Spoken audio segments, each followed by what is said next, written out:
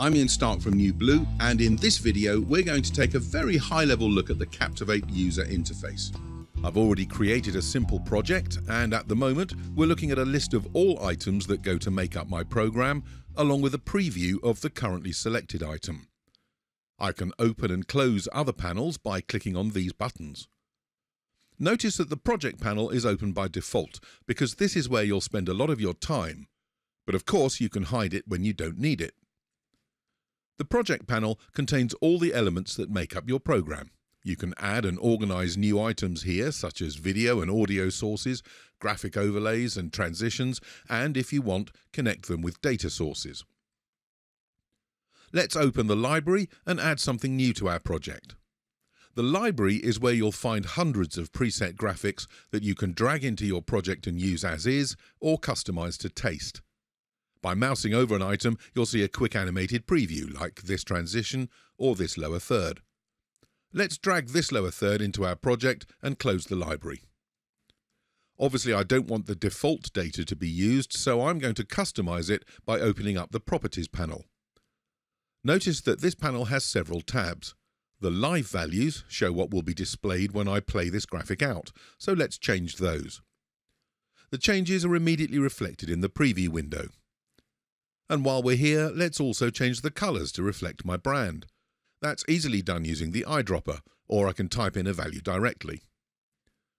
Rather than creating and customizing a separate lower third for every person in my program, I can add multiple versions using the values grid and then bring these up live as I need them. An extremely powerful feature of Captivate is that you can also do this using external data such as spreadsheets. We'll have a whole tutorial covering that in the near future. The program monitor shows exactly what my audience will see. So if I play this lower third, it beautifully animates onto the screen and off when I've finished with it. And when I change cameras to show a different presenter, by using the values grid, I can quickly bring up the new name. Captivate is so much more than just bringing gorgeous animated graphics on and off. It's also a full video production gallery. The video switcher lets you switch between different video sources, such as cameras, webcams, NDI sources, and so on. You can also set up transitions between sources, from a huge selection ranging from subtle dissolves to ridiculous 3D bouncing things. If you prefer a straight cut, mercifully that's available as well. The audio mixer panel is where you'll create a broadcast mix from your various audio sources, aided by these handy dB level meters. And you can mute individual sources here, which is particularly useful for political debates.